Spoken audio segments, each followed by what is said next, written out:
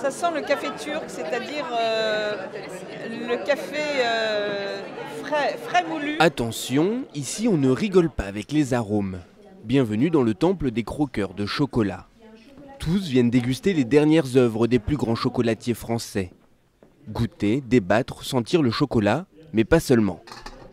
Ça me fait beaucoup de bien pour le moral, pour euh, le plaisir de- des gens que j'y rencontre et euh, particulièrement la dégustation de chocolat parce que c'est toujours un, euh, quelque, chose de très positif, de très bénéfique.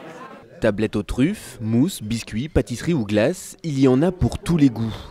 Chaque chocolat est décortiqué, croqué et analysé comme du vin. tous les critères de, de- de goût et de dégustation. Il y a des critères de texture, de, euh, il y a l'odeur, il y a, enfin, il y a plein d'indicateurs qui, pour détecter un bon chocolat noir. Créé il y a une trentaine d'années, le club des croqueurs de chocolat compte 150 membres qui se réunissent 5 fois par an à Paris.